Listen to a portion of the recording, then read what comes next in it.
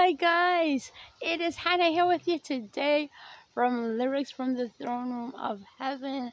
I hope that you are doing well. I hope that you are aware of God's grace and you are centering your life in and with Him and the abundance of His grace that is and remains eternally yours. Guys, you've guessed it. I have got a fresh new song to you, song for you today from none other than the purest Holy Spirit of the living God. And this one is titled God Has the Final Say. Doesn't that bring like a, a boatload of relief? It does for me. Because we're in a world where so many people want to have to say over your life. And really, the only one that has the truest say and the final say is God. And because his heart is so gracious, we don't have to worry about him saying anything that is to hurt or harm us because he ultimately only wants his best for us. So, if you're watching this, you're not yet a believer and follower of the Lord Jesus Christ, I encourage you don't delay giving your heart to Jesus. Stop this video. Invite Jesus into your heart, making him Lord and lover of your life. You couldn't have a better friend. More so, he's your hope. Also, he has plans for your life and for all our lives. He has great plans, and we can only step into those plans when we receive him as our Savior and Lord. So, guys, as always, my hope is that it blesses you and points you towards the Lord Jesus Christ. Ooh.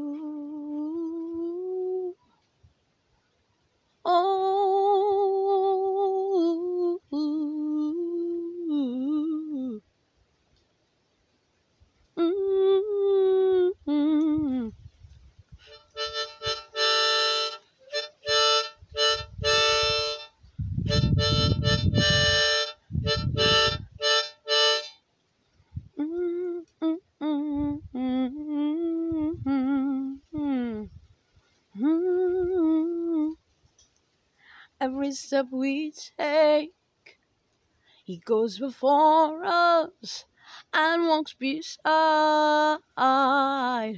Oh, how He preserves.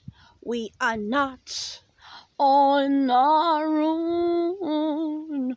We've got a God who is ever advocating for us. God has the final say over this life. Each and every day, God has the final say over our lives, guiding the way, leading us on to smoother paths. You just know God has the final say. Yeah, He speaks, all stand still responding to his sovereignty. Bless you, King. It is a privilege knowing you are ever fighting to keep us in your will. God has Eh, eh, the final say over this life.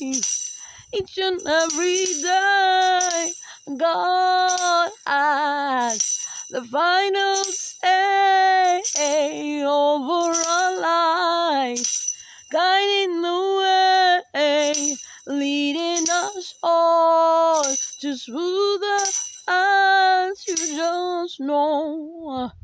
God has the final say. Oh, you just know God has. He's got the final say. Even when it doesn't look good, you just know. Just know. God has